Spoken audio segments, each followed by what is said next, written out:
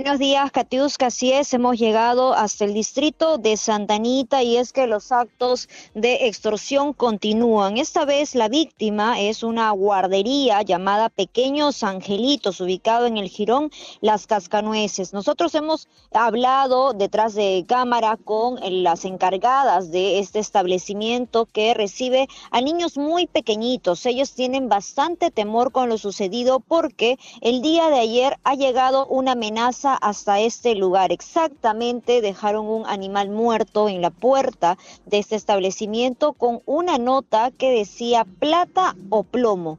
Esta nota fue dejada luego de que días anteriores incluso en este lugar se posicionaran dos sujetos en una moto. Ellos preguntaban constantemente por los encargados de este establecimiento Obviamente por temor ninguna de ellas brindó ningún tipo de información ni tampoco ningún tipo de dato, pero esos sujetos no se iban, se quedaban aquí en la puerta de este nido, de este jardín y seguidamente pues tener al parecer ningún tipo de respuesta, dejaron esta nota. Hasta el momento no les han exigido ningún monto en específico, tampoco han recibido ellas ningún tipo de llamada o de mensaje, simplemente esta nota que ha alertado no solamente a los encargados, a los profesores, sino también a los padres de familia, porque fue una de las madres quien cuando venía a dejar a su pequeño encontró precisamente esta nota con ese animal sin vida en la puerta de este nido. Además, Los pequeños también han visto esta